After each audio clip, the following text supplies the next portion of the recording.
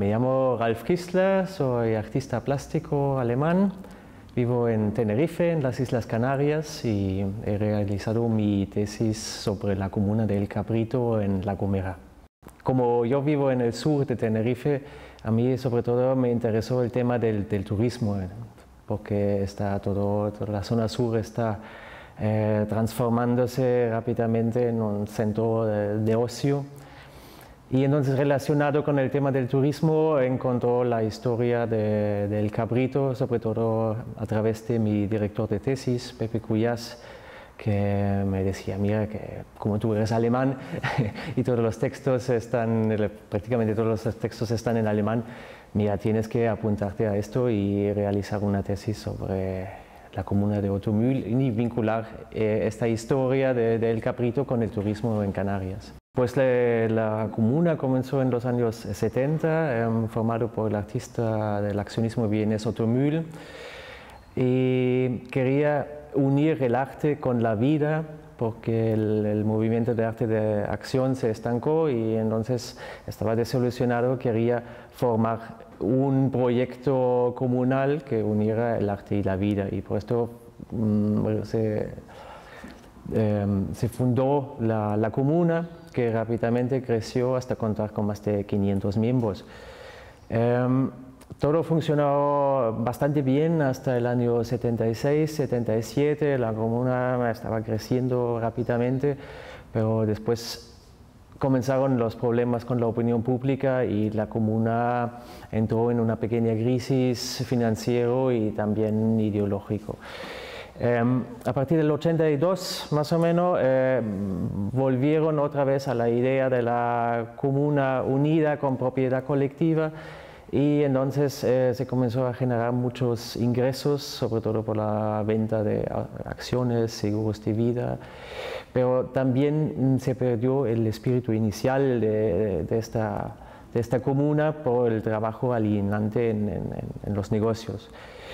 Y más o menos a, mediados de los 80 em, se daban cuenta que la vida exterior parece más Mm, más vivo que su propia comuna y entonces tenían la idea de buscar una serie de ocio para rejuvenecer el espíritu y para volver otra vez a esta, a esta actividad de antes y cambiaron entonces mm, la experiencia personal a través de las terapias que tenían en los años 70 por una experiencia turística de, de ocio. Y por eso decidieron comprar en, La Gomera una gran finca abandonada, que es una finca eh, de agrícola de los años 50, sobre todo, que tenía su auge en los años 50 con tomates y plátanos, pero era mm, en desuso a partir de los años 70. Entonces, también si hablamos de, de, la finca del Cabrito, lo interesante también es eh, ver este, esta evolución también de la finca, ¿no? de la propia finca, porque era un modelo de explotación agrícola típico de, este, de, estos años, eh, de esta época de los 50, ¿no? un modelo de mm, señores que tenían ahí sus jornaleros y después mm, fracasó el modelo en, en los 70 y a partir de 87, 86, 87 y llegaron entonces los comuneros con esta intención de reformar esta vieja finca y convertir la finca en su, en su centro de ocio en, La Gomera. Bueno, al principio eh, el cabrito, eh, esto era muy bienvenida por, por, la, por la, Gomera porque eh, contrataron 80 trabajadores y se convirtió en, el, tercer, eh, la tercera empresa más grande con, con por número de, trabajadores de La Gomera. ¿no? Entonces era bienvenida, pagaron bien y, todo estaba super, con, con, el visto bueno también del, del ayuntamiento, tenían mucha lo veían muy positivo, ¿no? Claro, después pasó la cosa de, la isla del escándalo, todo esto, y entonces, claro, que, que se cambió la, la, opinión. Pero yo creo que, mm, bueno, hoy en día eh, todo esto ya es, es, otra cosa, es una explotación turística normal y yo creo que es eh, beneficioso también para La Gomera porque es un modelo de diversificación turística, que no, que no es solamente un un complejo turístico, un hotel tipo Benidorm o Las Américas en Tenerife, sino es una finca agrícola con producción biológica para un turismo muy especial también de, seminarios. Así que mm, hoy en día el Caprito tiene, tiene un buen visto bueno de la población. Claro que en esta época Mm, había muchos rumores y estos rumores eh, todavía existen. Es, muy curioso cuando yo comencé con, con, el Caprito, siempre cada uno en Tenerife o en La Gomera, siempre cada uno dice, ya, ya, ya, la comuna, la secta, ¿no? Y, entonces, mm, pero nadie sabe eh, nada exactamente de lo que pasó, ¿no? Entonces, ah, la secta, sí, había algo con niños y no sé qué, uh, uh, uh ¿no? Eh, y, y, curiosamente no se conoce la historia, ¿no? Es que era un caso eh, totalmente eh, olvidado hasta que mm, Pepe y yo comenzamos a, profundizar el tema y a investigar más. Pero todo se quedó en una leyenda rara de un gurú de sexo que estaba ahí y una falta también un poco de una, una, lástima que no se, no, se recupera, no se ha recuperado esta historia, porque me parece súper importante también en el contexto del turismo en Canarias, de la historia de Canarias.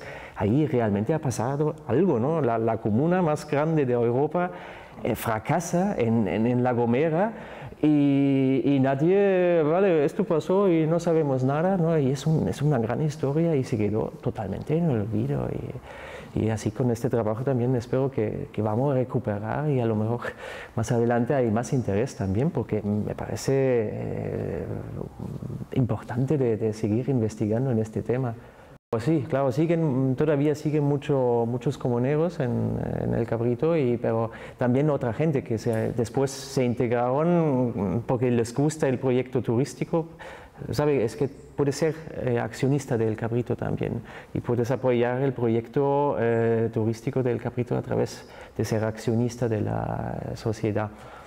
Y no tiene nada que ver con la comuna, pero les gusta el, proyecto mm, de un turismo ecológico y sostenible.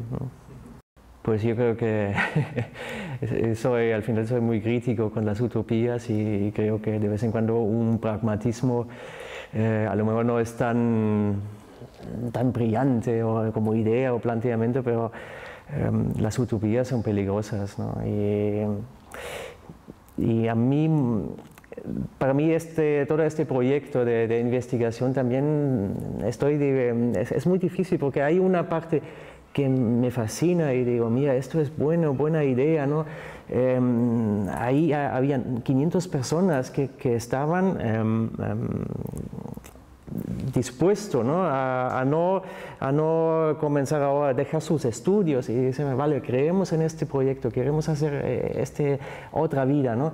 que hoy en día yo creo que todo el mundo dice, uff, mira eh, mi currículum y no puedo, no, no, no, vale dos semanas, pero no tengo más tiempo porque, sabe, todo el mercado eh, exige esta, esta clara línea del currículum.